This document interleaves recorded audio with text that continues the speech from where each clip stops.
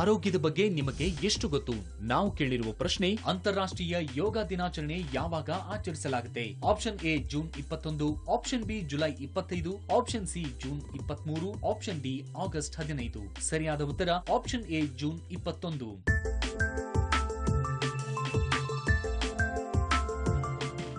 ಪ್ರಿಯ ಸ್ನೇಹಿತರೆ, ಇವತ್ತಿನ home remedy ಕಾರ್ಯಕ್ರಮಕ್ಕೆ ಸ್ವಾಗತ.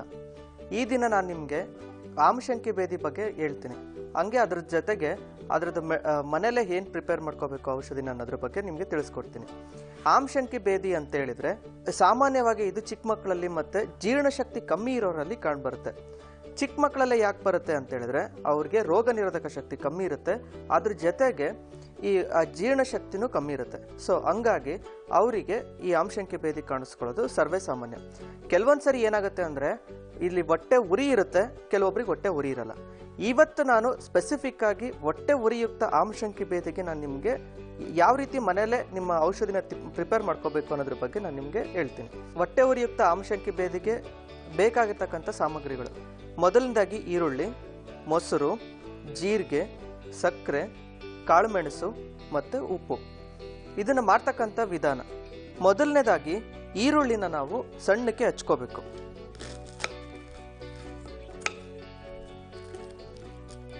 ಸಣ್ಣದಾಗಿ ಹಚ್ಕೊಂಡು ಅದನ್ನು ಮಿಕ್ಸಿ ಮಾಡಿ ಅದು ಪೇಸ್ಟ್ ಥರ ಮಾಡಬೇಕು. ಜಾರ್ ಒಳಗಡೆ ನಮಗೆ ಬೇಕಾಗಿರ್ತಕ್ಕಂಥ ಸಾಮಾನುಗಳನ್ನ ಹಾಕೋಬೇಕು. ಅಂದರೆ ಈ ಪೌಡರ್ ಮಾಡ ಮಾಡೋಕ್ಕೆ ಏನೇನು ಬೇಕಾಗುತ್ತೋ ಅದು. ಎಕ್ಸಾಂಪಲ್ ಅಂತ ಹೇಳಿದ್ರೆ ಫಸ್ಟ್ ಜೀರಿಗೆ, ಅರ್ಧ ಚಮಚ, ಕಾಳು ಮೆಣಸು, ಒಂದು ಕಾಲು ಚಮಚದಷ್ಟು ಹಾಕಬೇಕು. ನಂತರ ಸಕ್ಕರೆನ ಒಂದು ಅರ್ಧ ಚಮಚದಷ್ಟು ಸಕ್ಕರೆ ಹಾಕಬೇಕು. ಸೊ ಮತ್ತೆ ಒಂದು ಕಾಲು ಚಮಚದಷ್ಟು ಉಪ್ಪು ಹಾಕಬೇಕು ಅದು ಜಸ್ಟ್ ರುಚಿಗೆ ತಕ್ಕಷ್ಟು ಅಷ್ಟೇ. ಇದನ್ನ ಏನು ಮಾಡ್ತೀವಿ ನಾವು? ಮತ್ತೆ ಅದನ್ನು ಪೌಡ್ರ್ ಮಾಡ್ಕೊತೀವಿ.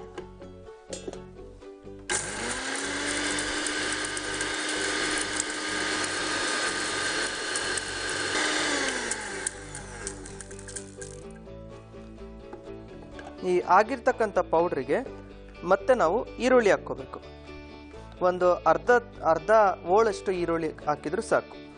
ಅದ್ರ ನಂತರ ಮತ್ತೆ ನಾವು ಮಿಕ್ಸಿ ಮಾಡಬೇಕು.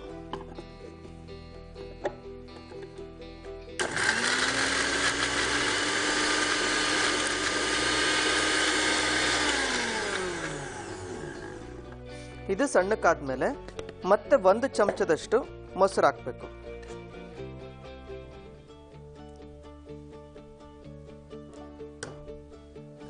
ನಂತರ ಮತ್ತೆ ಇದನ್ನ ಮಿಕ್ಸಿ ಮಾಡಬೇಕು.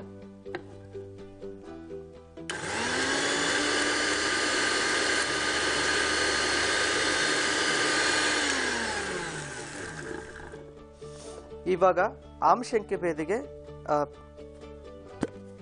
ಬೇಕಾಗಿರ್ತಕ್ಕಂಥ ಔಷಧ, ಮನೆ ಮದ್ದು ರೆಡಿ ಆಗಿರುತ್ತೆ. ಇದನ್ನ ನಾವು ಸರ್ವಿಂಗ್ ಬೌಲ್ಗೆ ಹಾಕೋಬೇಕು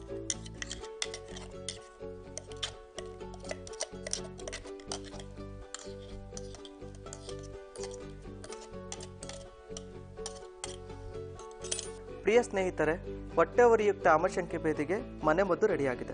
ಇದನ್ನ ಯಾವ ರೀತಿ ತಗೋಬೇಕು ಅಂತ ಹೇಳಿದ್ರೆ, ಏಜ್ ಗ್ರೂಪ್ನ ಡಿವೈಡ್ ಮಾಡಬೇಕಾಗತ್ತೆ. ಎಕ್ಸಾಂಪಲ್ ಒಂದು ವರ್ಷದಿಂದ ಐದು ವರ್ಷಕ್ಕಿಂತ ಮಕ್ಕಳುಗಳು ಅರ್ಧ ಅರ್ಧ ಟೀ ಸ್ಪೂನ್ಗಿಂತ ಕಮ್ಮಿ. ಅಂದರೆ ಕಾಲ್, ಕಾಲು ಟೀ ಸ್ಪೂನ್ ಅಷ್ಟು ತಗೊಂಡು ಬೆಳಗ್ಗೆ, ಮಧ್ಯಾಹ್ನ, ರಾತ್ರಿ ತಗೋಬೇಕಾಗತ್ತೆ.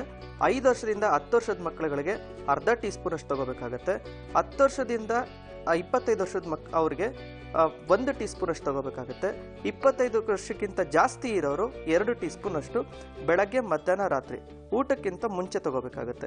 ಈ ರೀತಿ ತಗೊಳ್ಳೋದ್ರಿಂದ ಆಮಶಂಕೆ ಭೇದಿನ ಸಂಪೂರ್ಣವಾಗಿ ನಾವು ಗುಣ ಮಾಡ್ಕೋಬಹುದು ಪ್ರಿಯ ಸ್ನೇಹಿತರೆ ಇಲ್ಲಿವರೆಗೂ ನೋಡಿದ್ರಲ್ವಾ? ಮನೇಲೇ ಸಿಗ್ತಕ್ಕಂಥ ಈರುಳ್ಳಿ ಮೊಸರು ಜೀರಿಗೆ ಶುಂಠಿ ಮತ್ತೆ ಸಕ್ಕರೆ. ಇವುಗಳಿಂದ ನಾವು ಆಮಶಂಕೆ ಭೇದಿನ, ಅಂದ್ರೆ ಹೊಟ್ಟೆ ಉರಿಯುಕ್ತ ಆಮಶಂಕೆ ಭೇದಿನ ಹೆಂಗೆ ನಿವಾರಣೆ ಮಾಡ್ಕೋಬೇಕು ಅಂತ ನೋಡಿದ್ವಿ. ಇದೇ ರೀತಿ ನಾವು ಮನೆ ಮದ್ದುಗಳನ್ನ ದಿನ ನೋಡೋಣ ಮುಂದಿನ ಸಂಚಿಕೆಯಲ್ಲಿ. ನಮಸ್ಕಾರ.